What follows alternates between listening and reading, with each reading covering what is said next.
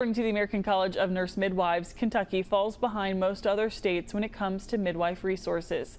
Now the organization is working to remove barriers and increase resources. This morning, some passionate Kentuckians came out to support those who go the extra mile for women every single day.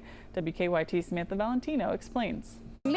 Can do a lot of different things. Sarah Hood is a midwife and the owner of Home Sweet Home Midwifery. She says while midwives play a vital role in childbirth, they can also provide care before, during, and after pregnancy. The statistics in Kentucky are not great as far as like maternal mortality as well as other things like the C-section rate, which feeds into that.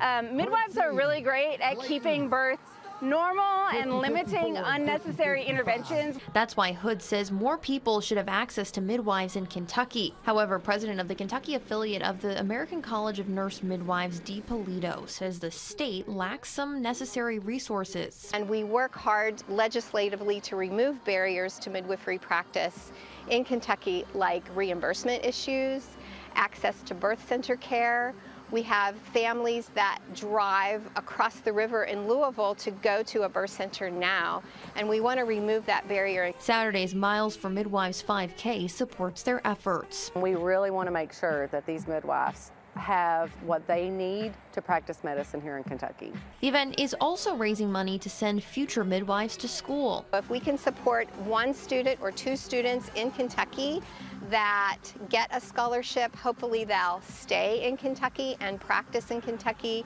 and be able to provide Kentucky families with nurse midwifery care right here in our state. In Lexington, Samantha Valentino, WKYT. And if you're interested in meeting or establishing care with a midwife, we do have a link inside this story right now inside the WKYT News app.